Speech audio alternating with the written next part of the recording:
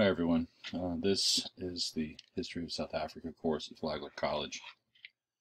Um, we're going to turn our attention at this point to a discussion of the period between 1870 and 1910.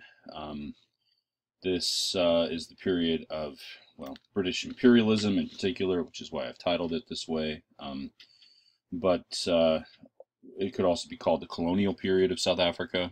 Um, uh, corresponding with sort of colonialism in general across the world and especially in, in the continent of Africa. Um, and some of these broader happenings uh, across the world uh, impinge on the experience of South Africa, both those of the European settlers there and of the, uh, the native population. Um, so we will start a discussion uh, of this period with a, an overview of many of the events um, and also some discussion of the, the major circumstances and issues that uh, uh, made this era what it was and uh, which had an impact on uh, subsequent events as well.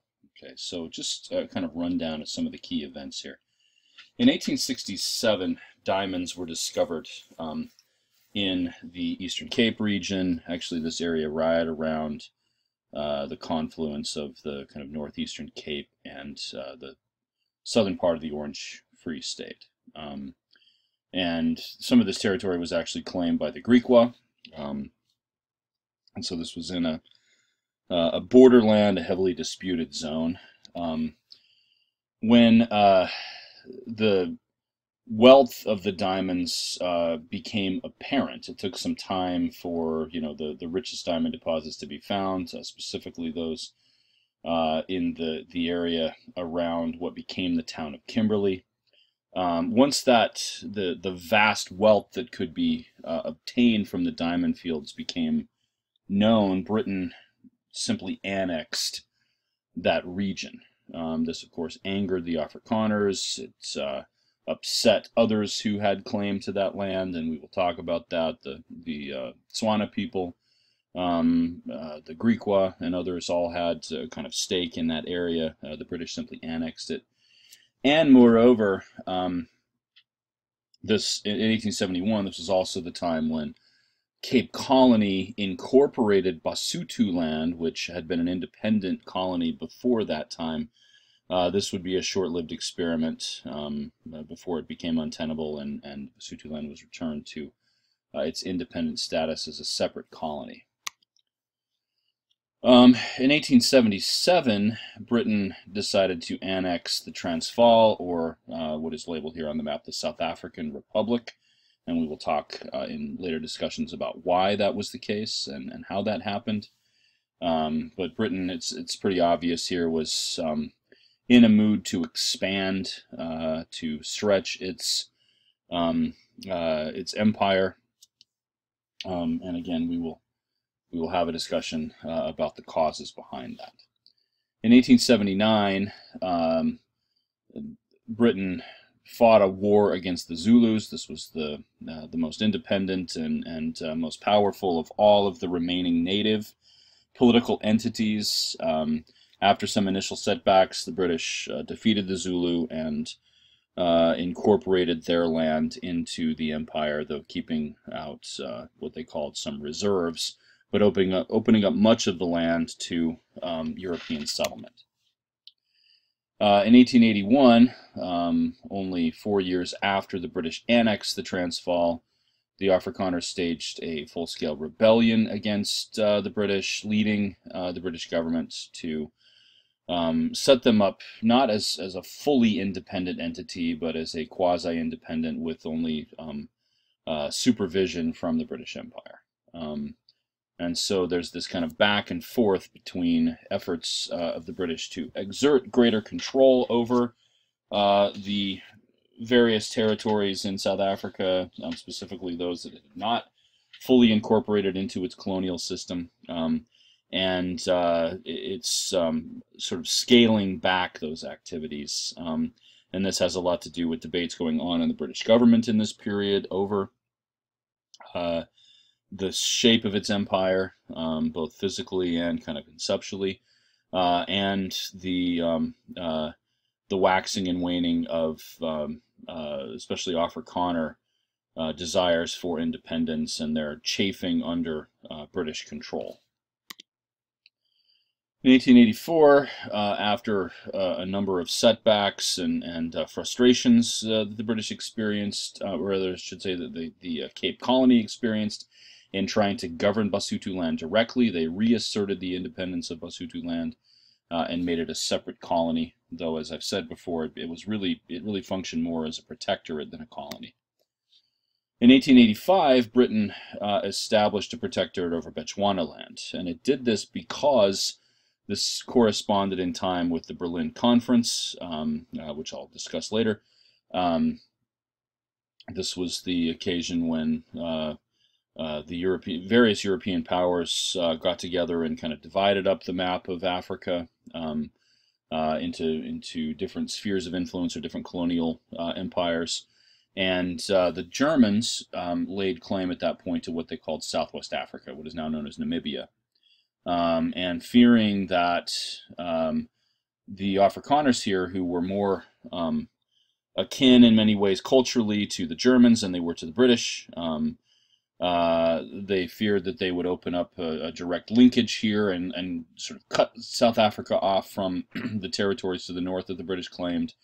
Um, and so they established this protectorate to really create a, a wedge between the Germans and the Afrikaners.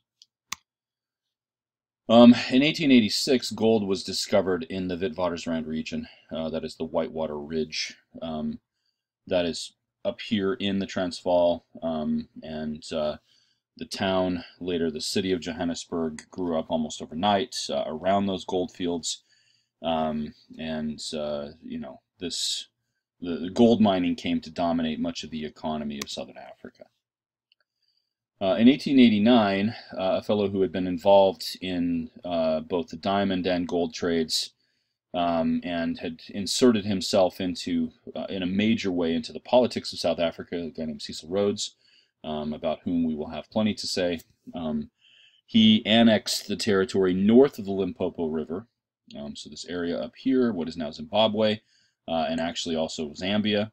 Uh, this came to be called Rhodesia after Rhodes, um, and uh, he opened it up to British settlement, um, which was never uh, in never a, a, very kind of large flow, um, but there were some British settlers who went there, um, and that has its own uh, history, which impinges on the history of South Africa, so we will discuss it to some extent.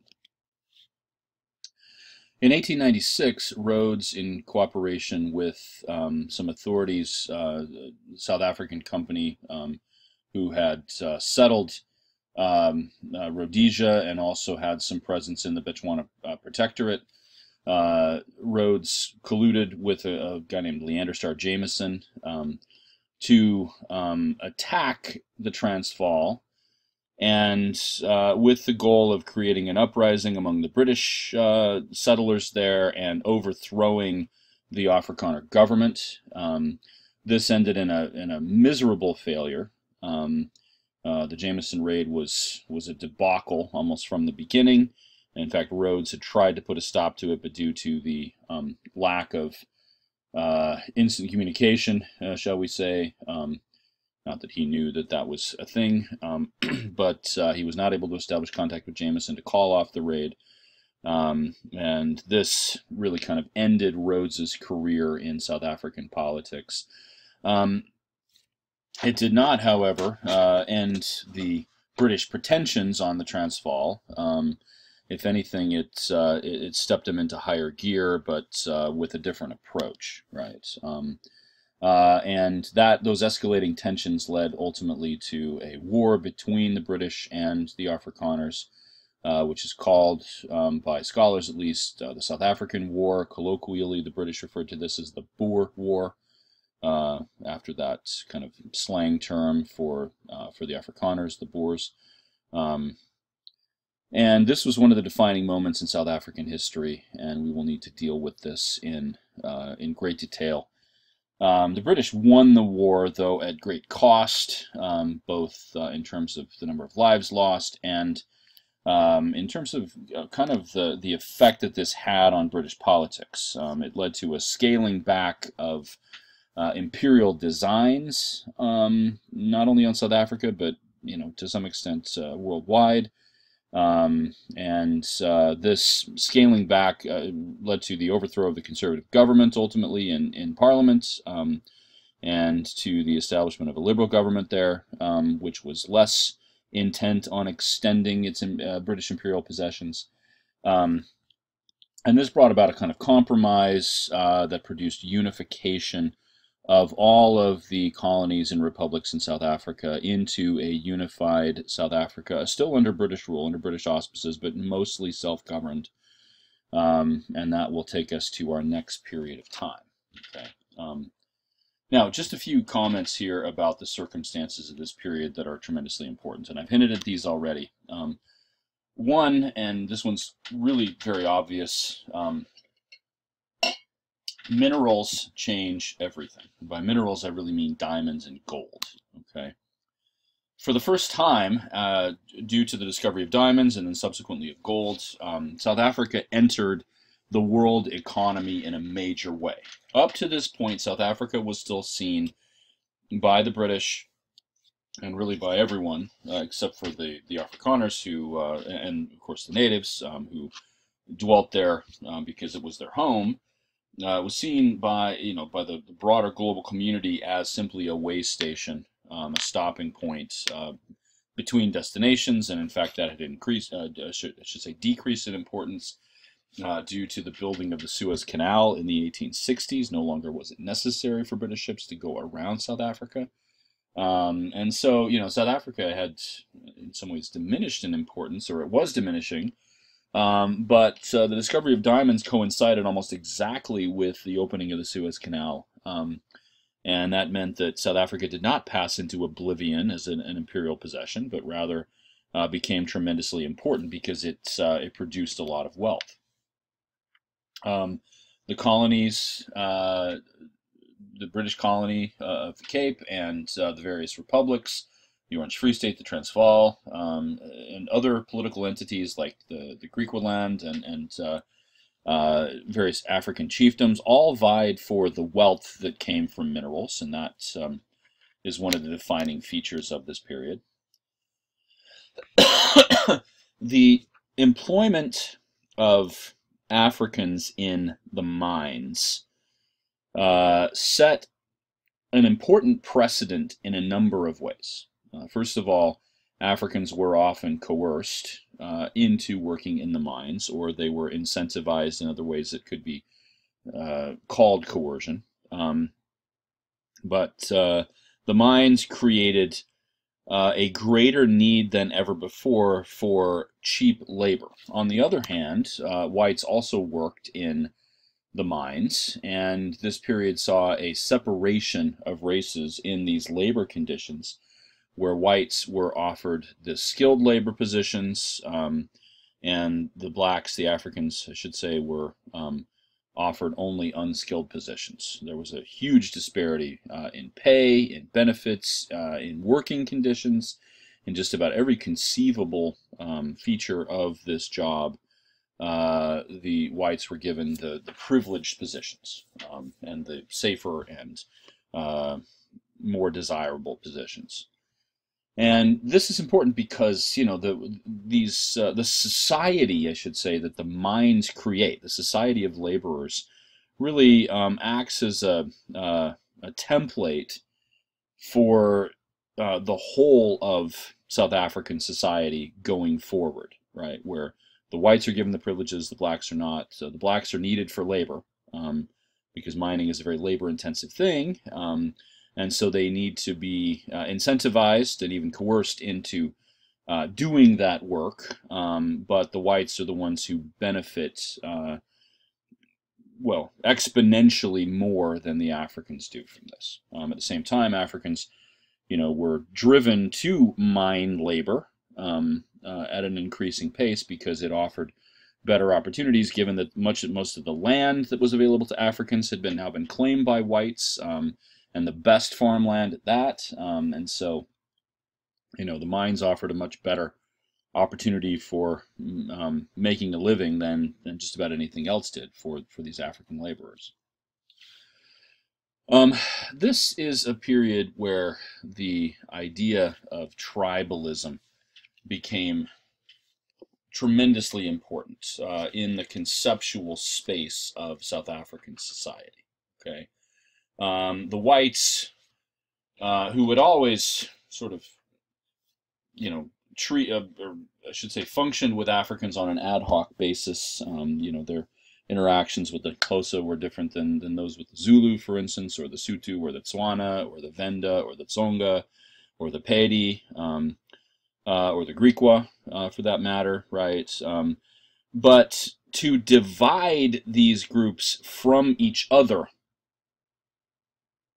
rather than have them collude became a really important goal for the whites, right? Because if the blacks were to unite, they, they so dwarfed the whites in numbers that uh, it would have major social and political ramifications, okay? Um, and given that the mines and later the development of industry brought people from the different chiefdoms, uh, different uh, African social groups together in the same space, uh, this necessity that the whites had, as they saw it, um, to keep these blacks divided from each other became all the more acute, in at least in the in the mind of the white South African. Um, now, tribalism in uh, in truth was far less rigid than the whites made it out to be, or that they you know, kind of necessitated it. Uh, um, there was a great deal of fluidity um, intermarriage between different groups, uh, alliances of various kinds. Uh, if we go back to Carolyn Hamilton's book on Shaka Zulu, for instance, uh, we might note that you know the whites attempted to create Shaka uh, to portray him as a conqueror of other peoples, and this is one of the ways that they you know tried to divide uh, different African groups from each other. They they played up the fact that the Zulus had defeated others uh, to bolster a kind of Zulu pride so they wouldn't collude with the Xhosa or with others. Um, at the same time, you know, they used uh, Zulu aggression in previous periods as a way to get other African groups to not like the Zulu, right? So this they, they bred these tensions on purpose. Um, and so this is a dynamic uh, that we need to pay attention to and, and uh, that becomes apparent really first in, in this period that we're talking about here, late 19th century. Um, another group became more and more important, especially in Natal during this era, and that was the Indian population. Um, uh, more Indian laborers um, than ever were um, brought to South Africa to the extent that the Indian population came to eclipse that of the whites. Um, this atmosphere kick-started uh, the career of one of the most uh, important people of the 20th century, um, and that is, of course, Mohandas Gandhi. Uh, he spent 21 years um, as uh, a resident of Natal, um, as a lawyer working there, and uh, really put into place many of his reform ideas, as well as formulated uh, his notions of satyagraha, or, you know, nonviolent uh, resistance. Um, uh, and his career in Natal then um, uh, had a tremendous impact on uh, what he did after he returned to India in 1914. Um, and so the you know we, we need to be aware of the happenings among the Indian population uh, in in Durban um, and in other parts of Natal. Uh, for the most part, this whole period, at least till the very end of the period, in the, the first decade of the 20th century, saw an uptick in British imperialism. Um, and this was due in part to the dominance of the conservative government, uh, first and foremost under Be Prime Minister Benjamin Disraeli, um, but uh, later under Lord Salisbury, um, the conservative government, you know, was very invested in empire, in growing the empire, and this desire extended to key uh, figures in um, in the South African setting, uh, most especially Cecil Rhodes, who was pictured here, um, along with Alfred Beit, um, uh, a German entrepreneur who was also heavily involved in the diamond trade. But Cecil Rhodes is a, a towering figure over this whole period in South Africa, um, and he was of the very imperial stamp. Um, anyway, so uh, a lot of this growth in in uh, British imperialism had to do with um, a, kind of parallel uh, growth in imperial designs of other countries. Um, Germany and Italy became unified uh, as nations in this period. Uh, Italy in the 1860s, Germany around 1870, uh, and Germany in particular was seen as the greatest threat to um, British hegem hegemony over uh, much of the earth um, because Germany's industrial output uh, ended up dwarfing that, or not, I shouldn't say dwarfing, but it ended up eclipsing that of Britain. Uh, Germany became the most productive industrial nation in the world um, uh, in the late 19th century. In 1885, uh, Otto von Bismarck, really just to, to, kind of force the hand of his rivals, um, rather than out of any true desire to have African possessions, uh, convened a conference in Berlin where um, and the you know the British and French were kind of caught off guard, and they they they showed up at this uh, a bit um, uh, wrong-footed. Uh, Bismarck managed to kind of get the, the British and the French to uh, disagree with each other, and and uh, but you know by the divide and conquer strategy, um, he uh, gained imperial possessions for himself and for his hangers-on, including King Leopold II of Belgium, uh, who claimed the entire Congo River Valley. Um, and so, you know, anyway, uh, these European powers ended up taking out maps of Africa and, and simply dividing it up without any attention paid to existing political realities on the ground among the, the various native inhabitants of Africa. Um, and, you know, the British uh, did not want to be caught wrong, wrong-footed again. Um, and so, you know, the the 1880s and 1890s saw uh, even a, a, greater uptick in British imperial uh, pretensions. Um, this led to things like the Jameson raids, um, formulated by Rhodes, um, and to the career in South Africa of Alfred Milner, um, uh, who is, I think, directly responsible for uh, the South African War in, from 1899 to 1902. Um, this also this uh, uptick in imperial desire led to these various annexations that we've talked about. Um, the annexation, the attempted annexation of the Transvaal, um, the annexation of most of the Zulu territory, the annexation of uh, New Matabele land uh, and uh, the Shona territory um, in what came to be called Rhodesia, what is now Zimbabwe. Um, all of these things are as a result of the growth in British imperialism um, in this era. And it should be said uh, as a concluding point here that this was not universal. You know, not every figure involved in British government was on board with this. There was an active opposition from the Liberal Party. The Liberal Party did not uh, entirely oppose empire. It was more wary about the unchecked growth of their empire, um, fearing some of the consequences, and, and uh, was quite prescient in, in uh, thinking those things. So that gives us an overview. Uh, we will then, um, in uh, subsequent lectures, talk about each of these major themes in turn, starting with uh, the discovery of, of, diamonds and gold and the consequences those had. Uh, we will talk about the, the, the, the conquests um, uh, of the remaining independent uh, African chiefdoms, especially the Zulu, but a, a, few others as well. Um, and uh, then the growth and tensions between the British and the Afrikaners culminating in the South African War and then the aftermath of that war. Um, so those will, those are the remaining lectures, um, and uh, look forward to discussing these things with you.